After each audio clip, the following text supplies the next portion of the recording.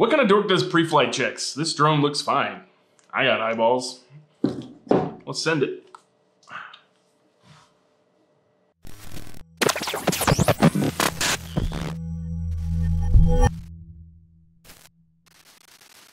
Hey everybody, I'm Bacon Ninja, and I went flying this week. It's actually been a minute because it's been raining around here, so, you know, I thought I'm probably gonna be rusty for the first couple packs. But it turns out, I totally sucked. Like, bad. Real bad. Worse than I've flown in a really long time. And I just couldn't figure out why. But I did know what was happening. This.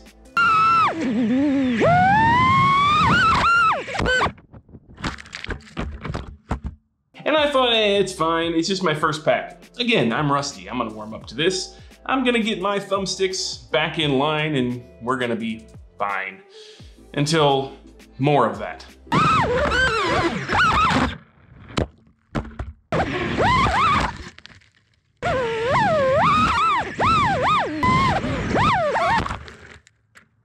And after that continued, for the remainder of the eight packs I brought with me, I finally decided to take a look at my freaking quad and figure out what was wrong, because surely that could not be me.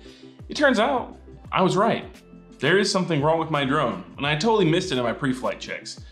If you're not doing pre-flight checks, this video is to remind you to do your pre-flight checks and why. So let's cover what my normal pre-flight checks are, and then I'll tell you what I missed, and show you what caused me to suck so terribly on my only chance to fly in two weeks. And obviously the first thing that I do for my pre-flight checks is get my handy prop nut driver and I tighten all of my props. I just give them a good hand tight just to make sure they're not loose because nobody wants a loose spinny prop. Once I've done that, I just give the props a little physical examination, make sure nothing's bent that I didn't notice before. I spin the motors, make sure they're not gritty. I flip it over and I look at the arms and wobble them sideways make sure nothing's wrong there. Take a look at all the connectors and make sure they're all good and seated inside of here. And I don't see any physical damage. And once I've got all that done, I bust out the two favorite things in my drone bag to do the last part of my pre-flights. And that would be kick and ass. But no, it's just regular old lens cleaner and a microfiber cloth. And what I usually do is I spray a little lens cleaner on my microfiber and I kick up my GoPro, clean the lens a little bit there, clean this lens a little bit there, and then I take what's left and I clean the lenses in my goggles. And then I'm ready to go, I take off. And on this particular day, all of that was just fine. However, I was not. I kept crashing and the drone felt funny. It felt really funny. And I didn't remember doing anything to it uh, last time I flew. I know I, I crashed it, I think, once last time I flew. Nothing too big. I didn't break an arm. I didn't really even break that many props. I think I broke one prop that day. So I had no reason to be concerned about what may be actually broken on my quad.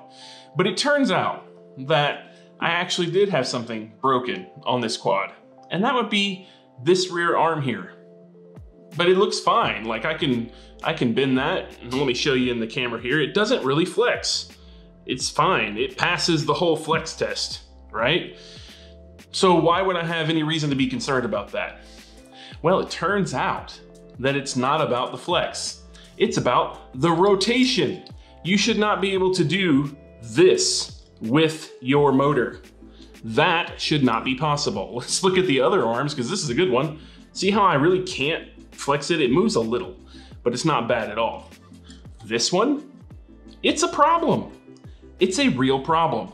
And it turns out what has happened is I delaminated the carbon in this arm. And if I twist it just right, maybe I can get that in the camera. If I twist it just right, er, maybe you can see it. I'm hoping you can. It's really hard to find a spot on this camera, but it's delaminated inside and that makes it twist. And I didn't even check that. So one of the things you should put into your pre-flight check to avoid this kind of situation is a twist of your arms. It's very apparent if I grab my motors and then I just do a little twist that this arm is twisting and this one over here is doing nothing at all. If I grab two that are good, you know, it, it seems to do just fine. Those are good. This is not good when you can totally twist the motor. And that, as it turns out, was why my quad felt like crap. So it was not me. I mean, part of it was me. I was probably a little bit rusty, but man, I just couldn't make the quad do what I wanted to do. And I thought, Have I forgotten how to use these sticks? No, the uh, gyro feedback from having my motor flopping around, and you completely cannot see that, even though the delamination is toward the end. It's not visible unless you flex it. So, wasn't my fault, but I still did fly. And if you're wondering what it looks like for me to fly with a delaminated arm, here's a nice little edit of the sections where I didn't crash, which I won't say they're few and far between, they just aren't very long. Because I spent a lot of time walking out into a field full of stickers and rabbits. I think I saw a turtle at one point to retrieve my freaking quad because I skipped my pre-flights. Could have just slapped an arm on it. Anyway, here's what it looks like when I fly with a delaminated arm on my perfect freestyle build. Baby, you let me in, then you push me out. Now I'm falling down. I'm falling, falling. You and your crazy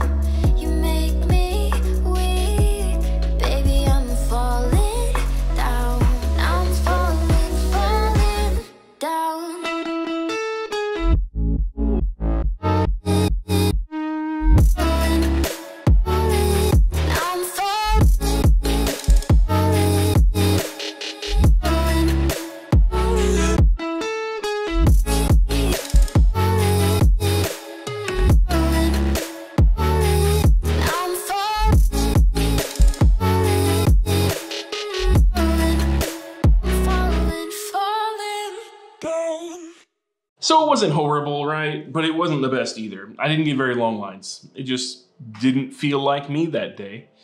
But now I know that I should twist my stupid motors and my pre-flight checks before I go out and fly. And if you didn't know, I hope you do now. And if you aren't doing pre-flight checks, I hope you are because you should be at least tightening your props and you might throw in there and consider tightening your screws. At a certain point, mine are so tight they never back out, so I don't do that very often. But all things you should definitely look for before you let a quad get off the ground because I got lucky and the delamination was actually fairly stable in the correct direction other than rotation. If it hadn't been, the quad might have just taken off to the moon or uh, done some other crazy things that I would have been liable for. So do this in your pre-flight checks. I hope it saves somebody some trouble out there. But that's all I have, this quick little video. I'm actually on vacation right now, so this is a short video during the week while I am unable to make one. Uh, so I hope you enjoyed this little bit of bacon. Just a small strip. A bacon bit, if you will. But until next time, stay greasy, and I'll catch you later. What kind of dork does pre-flight checks? This drone looks fine. Flying? Fine.